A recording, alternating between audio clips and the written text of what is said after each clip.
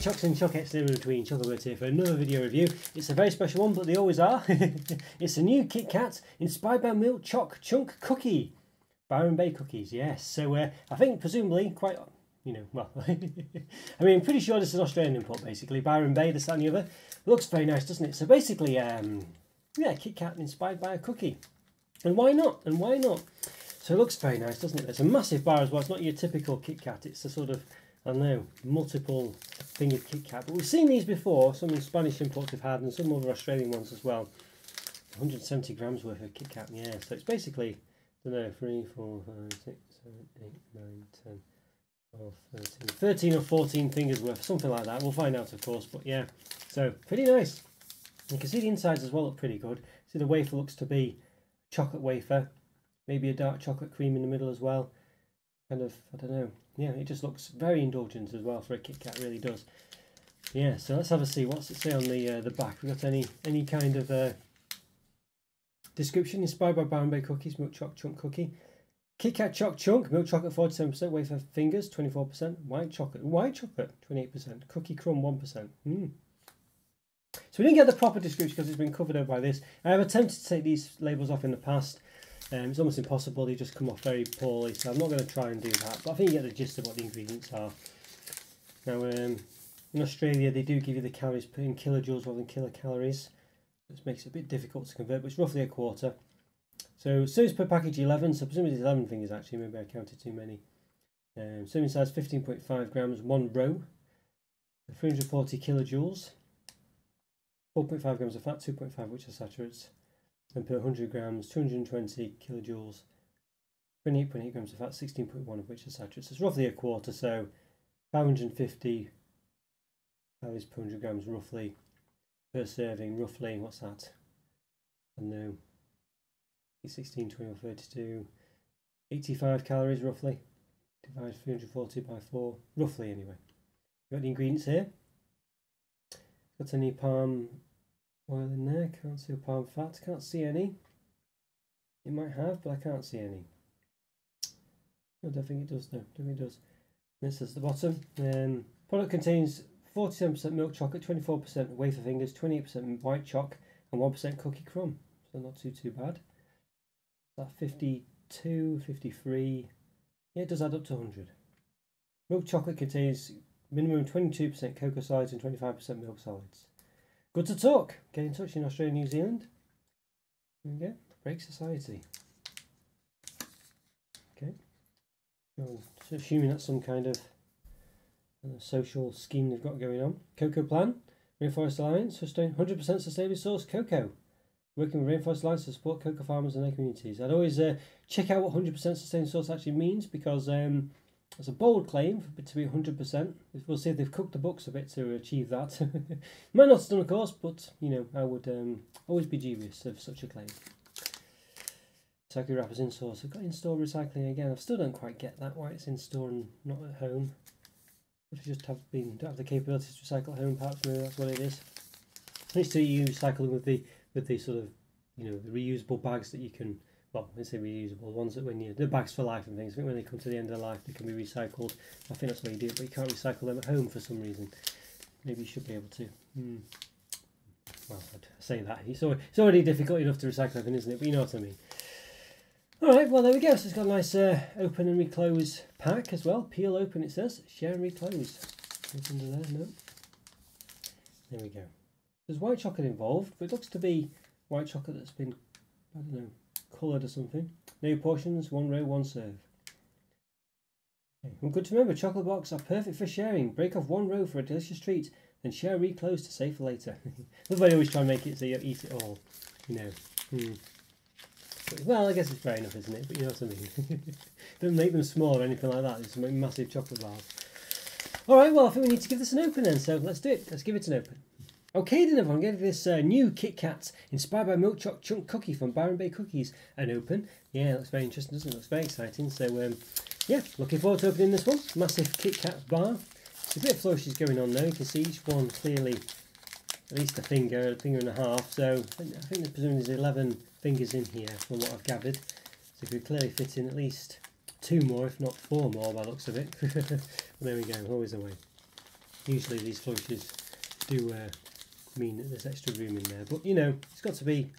I understand the point of it sometimes, it just to give you a bit of extra space or the ability to open it, but it's more convenient than anything else for them to make it look bigger than it actually is. So there we go. Right. Okay, let's give it an open then. So technically I've done I've had 960, 970 reviews, believe it or not. So if you like this video, please hit the like button and subscribe to the channel if you've not done so already. And it's alright to cut up a link to place of all my other reviews, as well some related ones, other KitKat ones, other Australian reviews. Yeah, other related ones I can think of. I think I've done any Byron Bay reviews other than this, but if I ever do, I'm sure they'll be there as well. have to watch this video and uh, I'll say click like button and subscribe. Go check those out. Hope you enjoy this too. Oh, wow, look at this. It looks very nice, doesn't it? Look at that. Wow.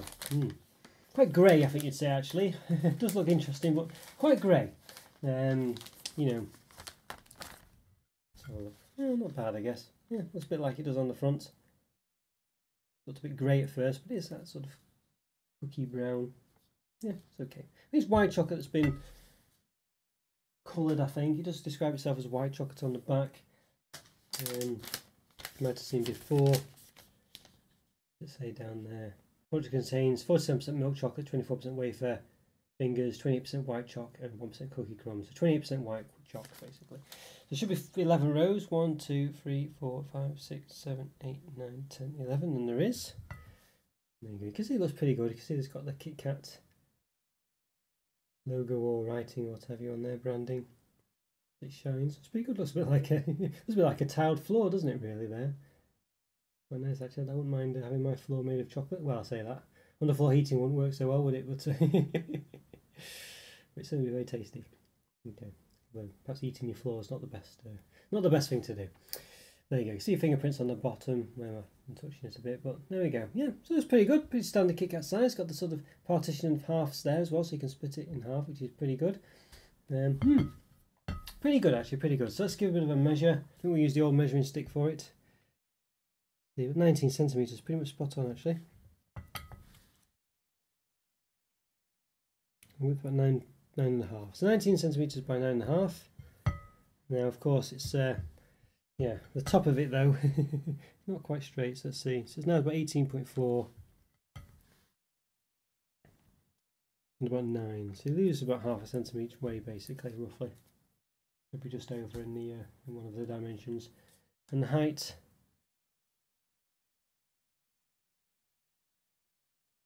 about 1.2 between them, about 5.5 almost. Okay, there we go, yeah. That's very interesting. Let's just give it a bit of a snap. There we go. And there we are, this. Yeah, so there we go. Look at that. Yeah, it looks very nice, doesn't it, that? It's got a bit of a sloped affair going on there, I think you'd definitely say. There we go, look at that. It's a lovely, uh, yeah, lovely middle there. So dark chocolate wafer, or chocolate wafer at least, not regular wafer, and a dark chocolate cream in the middle, presumably. A mix of white and milk chocolate. It's not that sort of crumb or, yeah, brittle. Well, not brittle, but just crumbly micro bits in there that seems to be. Mm. Yeah, that's very nice, doesn't it? That's very nice indeed. You can see on the top as well, that little micro crumbs as well. Yeah, looks very interesting. That's very nice. Yeah, that's what it describes itself as. The, uh, the wafer, I think it just says it's wafer, doesn't it? So if it's described as chocolate wafer or anything like that, it just says wafer fingers. Mm. Alright, well there we go. Okay, well we need to give this a taste. Looks very nice, looks very interesting. But does it taste nice? Let's find out. Let's give it a taste. Okay then everyone, I'm going to give this uh, new Kit Kat uh, inspired by Milk Choc Chunk Cookie from Byron Bay Cookies a taste. Yeah, so I'm presuming that must be their best cookie or I don't know if there's a few others in this range, I'm not sure. But either way, I think you get the uh, the gist. So um, yeah, mm, right, so we've got, um, we've opened it earlier. So got, it was an 11 fingered bar, massive chunky one, but we did snap few off here. you can snap down the centre as well, which is quite nice. So yeah, so I think pretty good. You can see there that it's got, um, well more or less you can see there actually. It's a bit hard to see even then, don't know, maybe the other side's a bit better. Yeah, I don't know. It looks a bit better, uh, easier to discern before. Well basically it's got a bit of a chocolate cream in, which may be a bit darker than normal, but definitely a dark, darker wafer than a chocolate wafer. Lots of sort of micro bits in there as well, no cookie crumb think it describes it as on the uh, the wrapper. Milk chocolate, wave fingers, white chocolate, and 1% cookie crumb. There we go. All right, well, without further ado, let's give it a taste. A nice half one here. So here's white chocolate on the top, and it's been kind of mixed in a bit to make it have that sort of darker look to it. But yeah, let's give it a taste. See what it's like. Let's do it. Mm, wow, interesting. Um, nice crunch to it. Um, mm. Does it taste of cookie in any way? I guess um, it's kind of um, a sort of posh cookies and cream basically is the gist of it, isn't it? That's what I'm kind of discerning. But with a bit more cocoa, a bit more chocolate involved rather than just the cream side. Hmm. Which is good because normally these cookies and cream ones tend to just focus on the cream side of it. And so they've got a lot more white chocolate or, you know, hmm. Focus on the cream bit, but the the white chocolate top is meant to sort of represent that in this case, and as you can clearly see, it's not massively white chocolatey. Hmm. I think even on the um, wrapper itself, it's like 28% white chocolate, I think. Yeah, 28% white chocolate. It's okay. Um, not blowing me away, this one, you know. Uh, hmm. There's a bit of a sort of brownie taste to it almost, you know. Hmm, sort of. Hmm. Not the consistency, but the taste. Tastes a bit brownie like. Hmm. It's alright. I feel like the um the cream part is kind of distracting from it, as as is always the case with these cookies and cream sort of affairs, usually anyway. It just seems to sort of pull away from the the sort of the, the chocolatiness of it. It's quite chocolatey other than that, but just with the wafer and things. But that sort of white chocolate, I feel like, kind of detracts from it. Because otherwise, it's quite a nice, indulgent, chocolatey feeling. I say, it almost gets the almost gets the sort of brownie taste right. Almost, I say, not the consistency, but the taste. Hmm. But you pulled away from that with that sort of white chocolate. Hmm. Nice crunch, but as I say, all the sort of chocolatiness of it, the chocolate wafer, the chocolate centre, the fact that it does come across a bit brownie like, it's just it's just made redundant by that sort of being counterbalanced by the, the white chocolate. So I could understand it because maybe the you know the cookie itself has white chocolate in it. I'm not sure. I assume it does. It's just representing the cookie. I don't know. Um, the cookie there seems to have raspberry pieces in it. I'm not sure. Don't really know. Hmm. Could just be the an off chocolatey colour. Maybe it's just the chocolate chips in them. Just look a bit red because of the. I don't know why. yeah. So I don't know. I feel like it's it's its own worst enemy in a way. I just feel like the white chocolate party is just taken away from the, the intenseness and the intensity of the cocoa, the chocolatey taste that it's got elsewhere. That's really quite hard to achieve. Actually, you know, it's really worked hard to achieve. It's why it's got that sort of, as I say, that cocoa wafer, the sort of darker chocolate cream. It seems in the centre. You know, um, I can't taste any cookie brittle either. It might be there, you know, if in its absence I'd notice, but yeah, I can't tell, taste it particularly. Hmm. Just tasting the top a bit there. Hmm. Yeah. I mean, you could argue that, know, it's nice to have the sort of white chocolate there to balance out the rest of it, but I think it just, as I say, really detracts from the intensity that the rest of the bars achieve for the chocolatey taste. Hmm. No, a bit of a shame that for me. Hmm. It's quite nice other than that, really. But for me, it doesn't really come across as a cookie like generally. I mean, every now and again you get a bit of a taste that implies a bit of cookiness to it, but um, it doesn't have that cookie brittle that you know in it that sort of provides any kind of semblance of a cookie. I can't taste it. You know, it says it's got cookie pieces, one percent of which is well, one percent one percent of the bar's cookie pieces, but I can't really taste that. It's very uh, very subtle. What does it describe it as again? Cookie crumb. So you know, there's really you know, it's just those little speckles on it basically as far as I can tell but they're so minor you really can't taste those especially when you've got the wafer and things elsewhere in it that's kind of a lot more crunchy and a lot more present and a lot more sort of you know obvious you know what I mean? So yeah I feel that's a complete waste of time really. I feel like it's just I feel like they've I don't know I feel like unfortunately there's just things in it that's just detracting from the experience rather than adding to it you know and as I say that's mainly the the white chocolate I think just takes away from that intensity that it's got. It might be trying to make it into a cookie taste, but it doesn't really work for me. And I think it, as I say, just detracts from the rest of it. Mainly tastes like a brownie, yeah, which is not unpleasant. I don't really feel like it tastes much of a cookie. I don't know, but but yeah. Anyway, long story short, it is nice actually. It is nice, but I just feel like the white chocolate, you know, works against it. You know, it achieves this really nice intense chocolate flavour, but the white chocolate there just holds it back basically. So yeah, which is a shame. But overall, it's pretty nice. I love the wafer taste to it. But again, that sort of chocolate wafer, you can't really get the most of it because the white chocolate just detracts from it. That would be really nice, I think, especially in things like, you know, sort of, you know, dark chocolate Blue Ribands that I've had and have been really, really nice because of those sort of like dark chocolate wafers and things. It'd be interesting to see how this affected this Kit Kat, at least being chocolate wafer, but you can't tell, you know. So that's the problem with it, really. And you can't really taste any kind of cookie sort of crumb pieces or whatever it is. You know, they just you can't detect them. They're just too fine. And again, it might be down to the white chocolate. I don't know, but I think it's more the fact you just got wafer in there as well, which is just as crunchy. But even though you'd expect to be able to taste it when you, you think you could taste little brittly bits, but you can't. So, mm. so I think it's just a bit.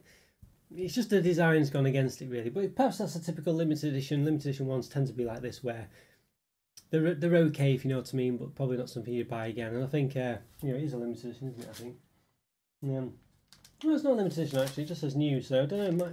I assume it's a limited edition one. Though. I don't think it'll be there forever, especially when it's partnered with another brand. So they tend to be limited edition those, don't they? Really. So hmm, I could be wrong, but yeah, I think for me this one, it's it's nice, but it just has a few shortcomings, particularly by the fact that just some of the chocolates or some of the effects in the bar, some of the flavors or whatever just work against it really, particularly the white chocolate. It just means you can't really enjoy the rest of it as well as you probably could if it wasn't there. So, but it's not bad all in all. I think for me, yeah, it's got a nice crunch to it, nice Kit Kat, sort of, you know. it's just it tastes like you know I used to with Kit Kat. It's got a nice wafer crunch in there, but I think the things that they've added into it you just can't really enjoy because of things like that white chocolate. It's not too too bad. I think for me it's a three and a half or four. I think probably Probably it's not quite a four, so I'm going to stick with three and a half out of five. It is still nice, better than regular Kit Kat, I'd say, but not by as much as it should have been. That's held back by the white chocolate, so what would have otherwise been a four out of five has ended up being a three and a half out of five. So there we go. Okay, guys, hope you enjoyed that review. Follow me on Instagram. Check out YouTube and program as well. Link that's in the description, as is the link for the Discord server. Click on these links that's been on the screen now. Great to support the channel by continuing to watch my content. Yeah, leave a comment or free. Always great to hear from you, and always doing my best to reply. Like and subscribe. Have a great day, and I'll see you next time.